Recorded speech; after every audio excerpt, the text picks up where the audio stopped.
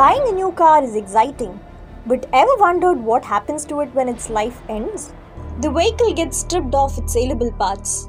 Materials like iron, aluminium wires, and plastic get separated, and the leftovers get crushed into a cube.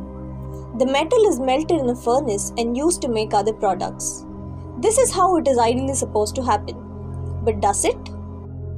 Let's look at Pudupetai in Tamil Nadu, where several vehicle scrap units operate. Pudupeta is famous for selling component parts at a very cheap price.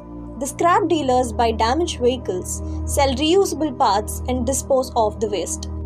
வண்டிகள்லாம் உடைச்சிட்டா கூட சில வண்டிகளுடைய parts போகும் சில parts எல்லாமே wastage தான் குப்பைக்கு போகாது எடை போடுறத எடை போட்டுரும் விற்கிறத எடுத்து வச்சு விற்போம் எக்கு ஆலை இருக்குது அதுக்கு மறுபடியும் இது மேனுஃபேக்சர் பண்ணுறதுக்கு போயிடும் The dealers say that metals go for recycling while the plastic waste is collected by the state corporation. But when you travel half a kilometer, we find piles of dumped vehicles. The junk gets thrown on the scrap heap, emitting pollutants. Last year, several mechanic sheds were removed in a drive to reclaim the Cooum River as a part of the Cooum Eco Restoration Project. The encroachments were taken off to remove the solid waste from the Cooum bank. But after one year, we still find vehicles being piled up in a massive stretch. ஒரு முப்பது நாற்பது வருஷமாக வண்டிங்க இப்படி தான் விட்டுனுக்குறாங்க வண்டி விடுறதுனால வண்டி ஓடிக்கிறாங்க பசங்க போ கொள்ள விளாட கொள்ளலாம் இறஞ்சலாக இருக்குது ரெண்டாவது இங்கே போலீஸ்காரங்க வந்து வண்டியெல்லாம் ஓரமாக ஆகுதுன்னா கூட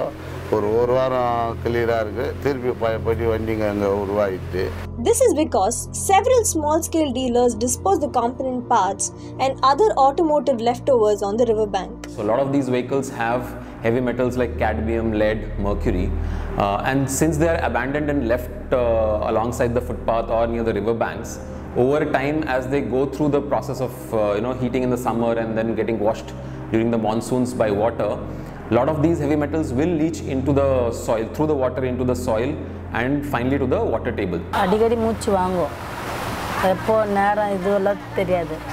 எந்த டைம்லேயும் வரும். திடீர்னு போடுவோம் ராயப்பேட்டைக்கு போவோம். ராயப்பேட்டைக்கு போய் அந்த புகை வச்ச உடனே கொஞ்சம் இதுவாகும். ஸ்கின் ப்ராப்ளம் இருக்குது. இங்கேயே பசங்களுக்கெல்லாம் நிறைய இருக்குது. லேடிஸ் கூட இருக்குது. காலில் அப்படியே இது மாதிரி வரும். படம் மாதிரி வரும் அப்படியே. அது இன்னத்துனால வருதுன்னு யாருக்குமே ஒன்றும் தெரியாது Keeping the public concerns in the unscientific ways of scrapping, the centre has come up with draft guidelines for safe disposal of vehicles. It is believed that this will help legalize vehicle dismantling and the scrappage industry. Large expanse of land and technology is required to deal with the menace. When parts like tires, batteries, and other components are left to decay, it causes serious environmental threat. So in India right now we have an automotive industry standard AIS 129 that provides guidelines on end of life uh, vehicles. Uh, these came into effect in March 2015 and they are from the Ministry of uh, Road Transport, MORTH. Uh, they provide uh, certain guidelines to the manufacturers as to what they need to take care of in the vehicles so that end of life can be uh, effectively handled. Uh, but the vehicles that are usually scrapped in the current uh, timeline are vehicles which go back 15, 20, 25 years and uh, these standards did not exist then.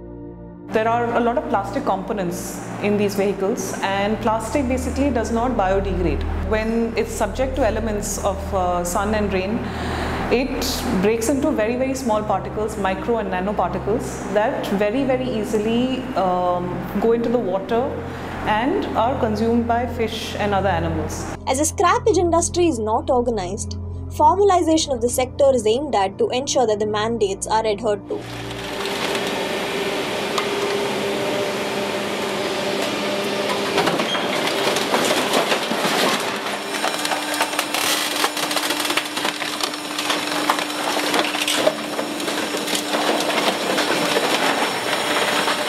So it's time to recycle before you trash.